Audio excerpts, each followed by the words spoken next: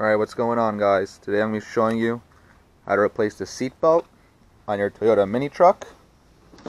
So, if your truck's anything like mine, your seatbelt retractor is probably broken, jammed, or it doesn't retract. You can see this one's just straight up jammed. Previous owner did something sketchy, put a bolt in. Probably not the safest thing. So, what I'm going to be doing, I'm replacing with the universal seatbelt I got on eBay.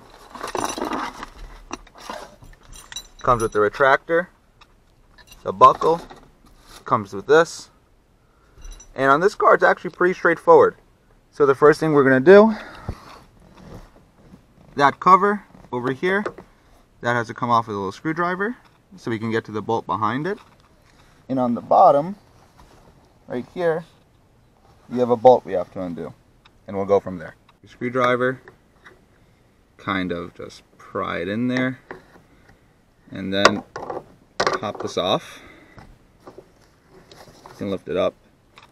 And here you have your bolt, and that is a 14 millimeter. So you take your ratchet and your socket and you take that off. So it comes off pretty easy. Just remember the orientation. You have the piece of the seat belt before the washer, kind of getting sandwiched in between this and the head of the bolt.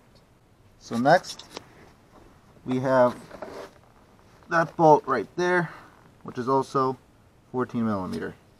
And that's right on the floor. Okay, now you have the retractor. Usually you have this cover on it, something like this. Take that off, you can take it off with your hands. And if you look right there, that's the bolt that holds it in.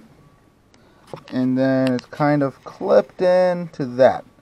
So you take that bolt out, you can swing it out. That's also 14 millimeter.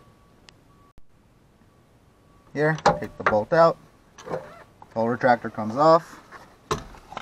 And there you have your old seatbelt assembly, which in my case, and probably yours, is junk. Now, all that's left is you have to take out the buckle right here so the way that attaches, when you move the seat forward and you tilt it forward with this, right over there, you have that last bolt, and you can take the buckle out. Alright, with that bolt out, this should just pull right up. There you have your little connector for the seat belt to make sure it's plugged in. Alright, after it's unbolted and the seat belt plug is disconnected, just pull it right up there you have the seatbelt plug. And that's all there is to removing it. Now, install is the reverse of the install. So, how I would start first I would take this, the buckle, feed it down in there, and bolt it in.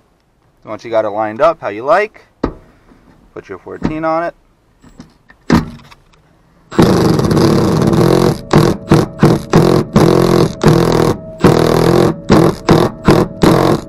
Tying it down pretty snug. You don't want this coming off, but make sure you don't strip it. So now, you got your buckle right there. And it's time to put the retractor in. Same concept as taking it off. So the kit that I got actually came with new hardware. So you got to make sure that the threads are good. They seem to be good. So First thing I'm going to do, take the retractor, line it up how it should be, just like that. I'm going to get the bolt and I'm going to bolt it in.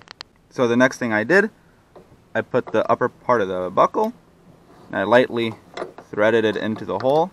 Retractor is also still loose just so I get everything lined up and then I'll tighten it all at the end. So now with that there, the last part, which is this piece, goes right down to the floor over there. And you just put the bolt in. Okay, so with that piece threaded in, I like to buckle the seatbelt, make sure everything is good. Retractor works great. And now that I know everything's properly oriented, you can tighten it up. And you make it snug. You can use your ratchet, you can use your impact gun, Just don't strip them again, because then you will have a bad day. And with everything bolted down, that should be all there is to it. Take your seatbelt, buckle up. That's good. That's good. Release it, retracts, and just like that, you have a working seatbelt in your Toyota mini truck. If you like what you saw, stay tuned for more. Leave a like, leave a comment. Any suggestions, let me know. Thanks for watching, guys. See you in the next one.